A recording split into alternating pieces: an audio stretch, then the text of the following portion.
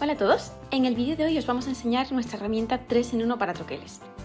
Es perfecta para tener siempre a mano cuando nos pongamos a troquelar porque nos va a ahorrar un montón de tiempo para despegar o para acabar de eliminar los trocitos de papel que se quedan adheridos al troquel. Esto es algo que suele pasar, sobre todo con los troqueles que tienen muchos detalles pequeños. Lo mejor de esta herramienta es que incluye tres herramientas en una. Incluye un cepillito, un punzón y una espátula que son retráctiles. El punzón y la espátula salen por la parte baja del mango bajando esta palanquita, que queda bloqueada. Para volver a meterlos simplemente hay que bajar ligeramente la otra palanca sin necesidad de llegar hasta abajo del todo. Vamos a ver cómo se usa. Como comentábamos, cuando usamos un troquel con formas intrincadas, a veces es un poquito más complicado sacar la pieza de dentro del troquel porque se queda pegada. Para despegarla podemos empujarla un poquito con el punzón y fácilmente saldrá. Y si aún se nos resiste un poco, podemos ayudarnos también con la espátula para terminar de sacarla.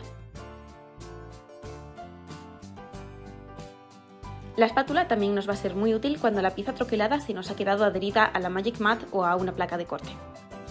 Con ella podremos levantar la pieza sin miedo a estropearla.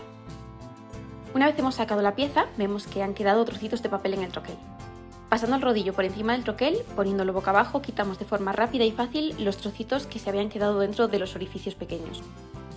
De esta manera queda limpio y listo para el siguiente uso.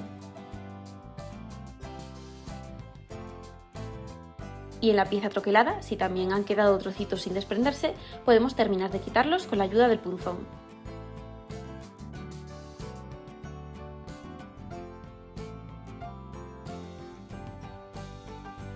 Y ya tenemos la pieza troquelada lista para usar. Como veis, la herramienta 3 en 1 es súper práctica y nos va a ahorrar muchísimo tiempo con nuestros troqueles. Además, como es pequeñita, podemos llevarla en nuestro estuche o tenerla siempre a mano con nuestras herramientas. Decidnos en comentarios si ya la habéis probado y si se ha convertido ya en uno de vuestros imprescindibles. Nos vemos en el próximo vídeo.